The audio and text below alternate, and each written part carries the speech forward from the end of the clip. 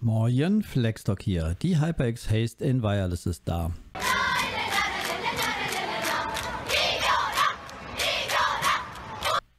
Es gibt kaum eine Maus, die wir mit weniger Spannung erwartet haben als diese. Das klingt jetzt negativ irgendwie, ist es aber absolut nicht. Auflösung nach dem Intro.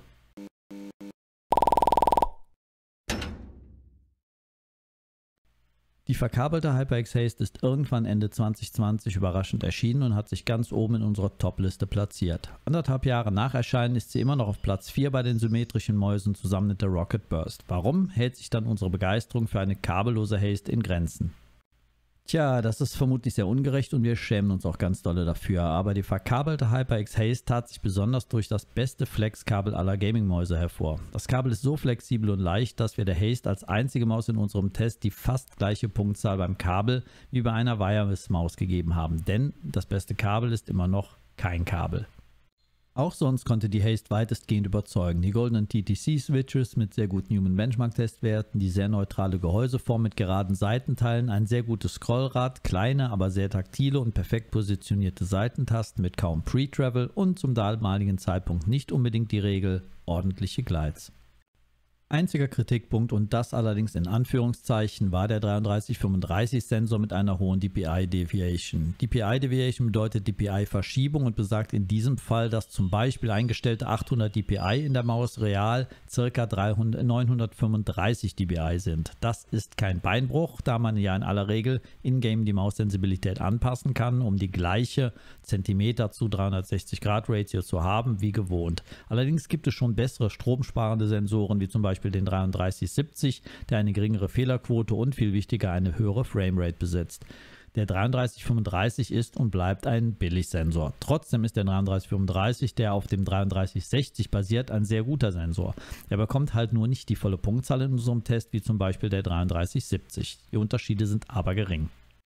Die berechtigte Frage, die sich jetzt stellt, ist, was kann man da noch groß besser machen? Es gibt einen Haufen Mäuse, wo man sich wünscht, man kommen die endlich in Wireless. Mäuse, die so gut sind, dass sie eigentlich nur noch das Kabel etwas stört. Ein paar Beispiele.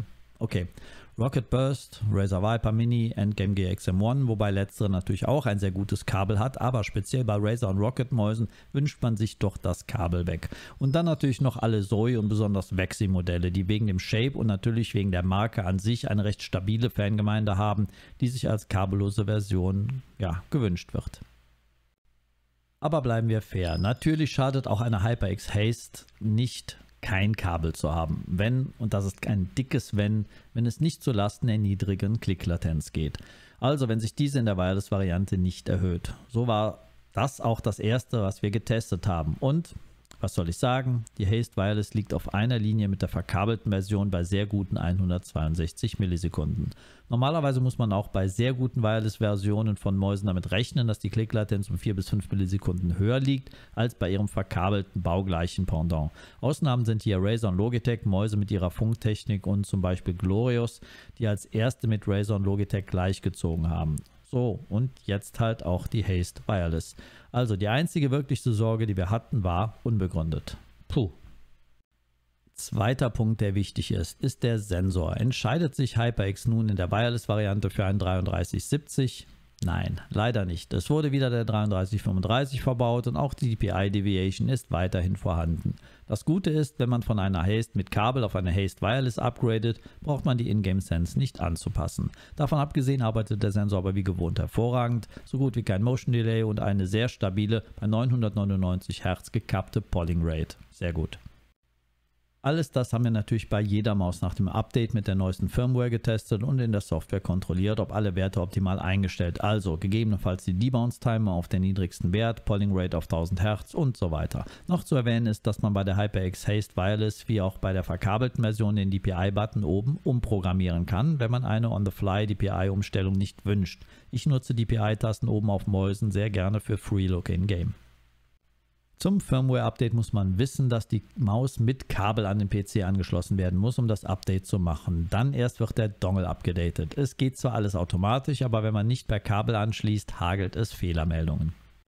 Das Gewicht ist auch noch so ein Punkt, wo man bei einer kabellosen Maus Angst haben muss, dass der Hersteller hier etwas verbockt. Bei den nur 62,9 Gramm der Haste Wireless kann man das hier aber nicht sagen. Nur 4,6 Gramm schwerer als die verkabelte mit ihrem 58,3 ist absolut im Rahmen. Eigentlich schon sehr gut, wenn man berücksichtigt, dass wir die Wireless Haste in weiß vorliegen haben, also die Wireless-Version. Die verkabelte aber in schwarz und weiße Mäuse sind immer etwas schwerer durch den UV-Schutz im Material, damit die Gehäuse nicht mit der Zeit vergilben.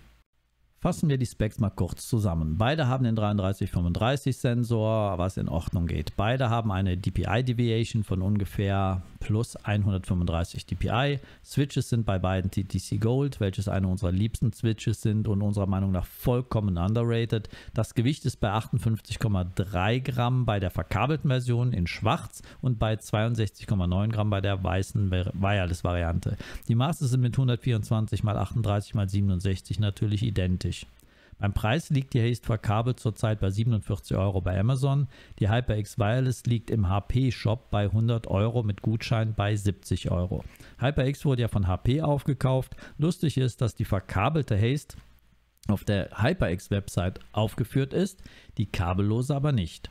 Die findet sich nur im HP-Shop. Im HP-Shop findet man dann aber keine verkabelte. Zumindest zum Zeitpunkt der Erstellung dieses Videos. Klingt irgendwie nach sauberem Schnitt zwischen HyperX und HP oder so. Scrollrad, Seitentasten und Glides sind wie auch schon bei der Haste verkabelt sehr gut. Glides sind recht klein und kann man gegen Core-Pads tauschen, muss man aber nicht unbedingt. Jedenfalls gleiten sie sehr gut und es gibt auch keine Probleme mit rauen Pads. Unser Fazit zur HyperX Haste. Die Haste verkabelt war schon eine der besten Gaming-Mäuse, die man kaufen konnte und auch heute immer noch kann. Besonders bei den symmetrischen Mäusen hat sich außer der Katana Superlight von Ninjutsu keine Maus in den letzten anderthalb Jahren vor die Haste schieben können. Die Haste Wireless leistet sich keinen Fehler und schließt nahtlos an die Qualität der verkabelten Schwester an. Gesamtklicklatenz ist genau wie bei der Haste verkabelt. Gewicht liegt trotz Akku im Rahmen, beziehungsweise ist eigentlich sehr gut und liegt im Rahmen von 60 bis 75 Gramm, was so für die meisten Gamer die passende Range sein sollte. Für hohe Agilität durch leichtes Gewicht und noch ausreichend Gewicht für eine funktionierende Nervenreizleitung zum Gehirn. Also eine gute Kontrolle. Die Gehäuseform ist sehr neutral und für viele Grip-Styles passend. Auch wenn die Optik vielleicht etwas an einen Arztschuh erinnert, so ist das ja sicher Geschmackssache und vor allem nicht wichtig, nicht wahr? Auch in Nebenschauplätzen wie Scrollrad, Seitentasten und Glides macht HyperX oder muss man jetzt sagen HP keine Fehler. Hm. Nee, sagen wir lieber HyperX bei HP und keine Fehler in einem Satz. Das kann man nicht machen. Wie auch immer, die HyperX Haste Wireless bekommt eine absolute Empfehlung von uns und ist eine der Mäuse, die man ohne die geringsten Bedenken jedem empfehlen kann. Die Haste verkabelt war schon eine der unterbewertetsten Mäuse, die viel zu wenig Aufmerksamkeit bekommen hat, was sicher auch am kaum vorhandenen HyperX Marketing lag und ich befürchte, dass sich das hier bei der Haste Wireless so fortsetzen wird und wir mit unserem kleinen Kanal daran nichts ändern werden. Mich würde interessieren, was ihr von der Haste verkabelt oder Wireless haltet und ob ihr euch ein Upgrade von Kabel auf Nicht-Kabel machen würdet oder ob ihr es für nicht nötig haltet. Schreibt es uns bitte in die Kommentare und liked und subscribt, ihr kennt das ja.